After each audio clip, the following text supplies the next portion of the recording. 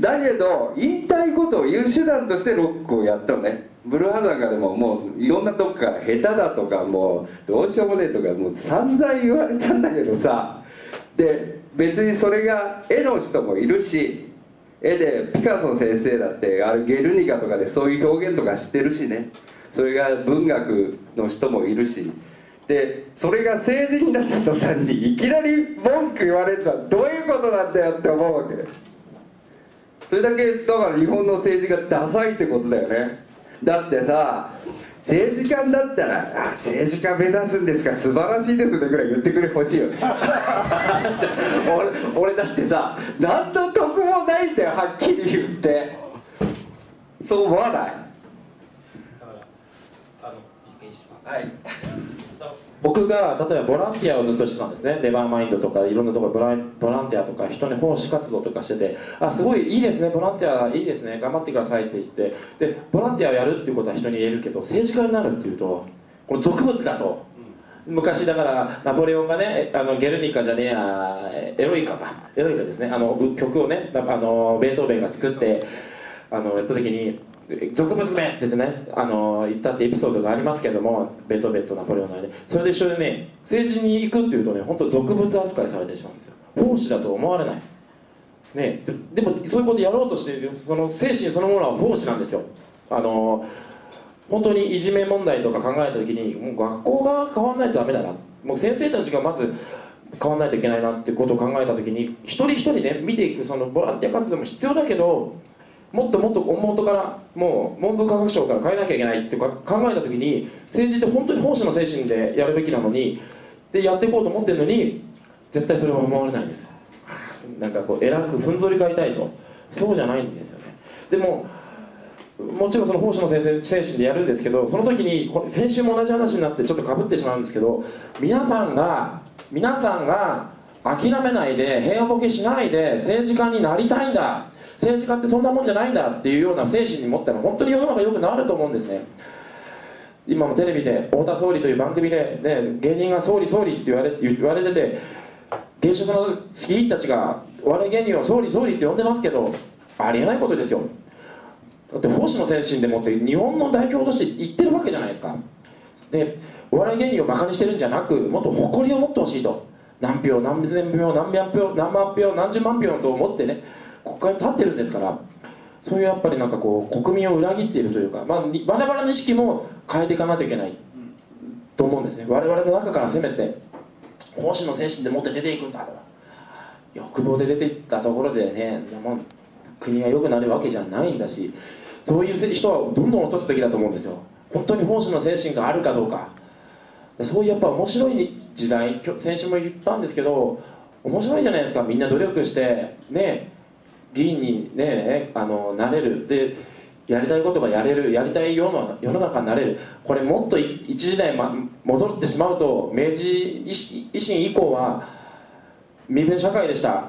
口も聞くことも許されないような武家社会であったりねあの男女の声もできず恋もできず馬に乗ることは武士しかできませんでした。でそのよその4身分の下はもっともっと蔑まされている人たちもいました。得た日にと言われてて。決められた場所に住まなきゃいけないとかた、ま、あのご飯はおにぎりでなければいけないとかわけわかんないルールもあったんですよ。でその本当つまんないじゃないですか。そんなね身分社会差別社会。これをやっぱり、ね、面白くするのはねやっぱりその現代人に生きる我々しかないんでね。でそれをやってくれるのは誰かって言った時に政治家なんですよね。でも国民の中にその政治家に対する意識が俗物意識があるんでこれをやはり拭っていくべきかなとレンズで感じております。あそうね。でだからね政治ねちゃんと考えなきゃダメだよね。俺もねだからみんなと一緒に学んで考えていきたいんですよ。あのちゃんと政治のこと考えてこなかった。だからドンパチやんなきゃいいと思ってた。ドンパチやんなきゃいいよね。政治なんかさ誰に任せててもさ大差ねえじゃんとか思ってたんだけどそうじゃなくなってきたぞと。だったら考えないとダメだなっていうとこかな。ああ。だってさあのみんなあのここ二十歳以下の人もいるかもしれないけどさ選挙にも行かないじゃん。